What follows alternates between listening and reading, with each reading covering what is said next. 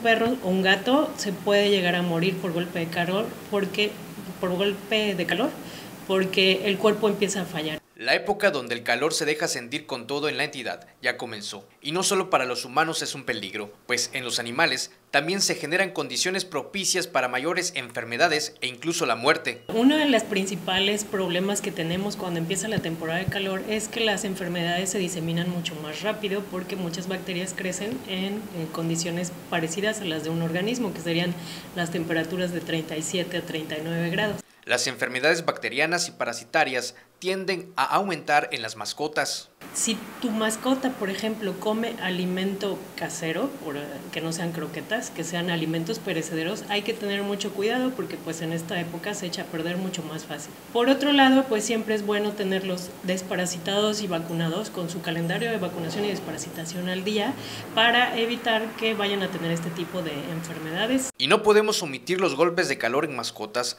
los más fulminantes, por lo que se recomienda siempre tener a las mascotas en zonas frescas. Otro punto sumamente importante es el golpe de calor. Mucha gente subestima mucho el hecho de que pues ellos pueden aguantar más calor y eso no es cierto. En realidad tienen muy pocas zonas para dispersar el calor y cuando la temperatura aumenta para ellos es muy difícil perder el calor. Con imágenes de Fernando Eck, Erika Null, Telemar Noticias.